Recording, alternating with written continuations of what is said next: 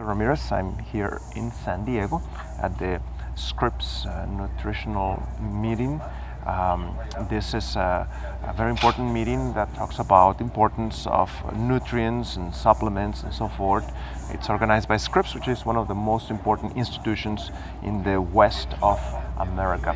And in this meeting, we are sharing the results from our depression recovery program, the residential version, in which 522 people um, uh, so far are in our database.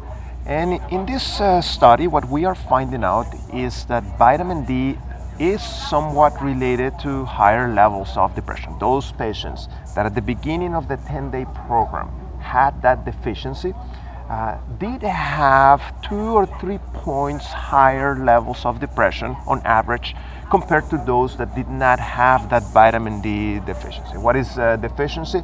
Uh, well, there's many definitions. Usually the range for the uh, vitamin D, it's gonna come between 20 nanograms to uh, 50. That's normal. Uh, a frank deficiency is called somebody that has 12 or less. About 9% of our patients actually had the deficiency of vitamin D. And what we found out is that um, through the intensive lifestyle, uh, uh, lifestyle changes in those 10 day program, uh, the depression actually did decrease dramatically uh, if the person was deficient at the beginning of the program.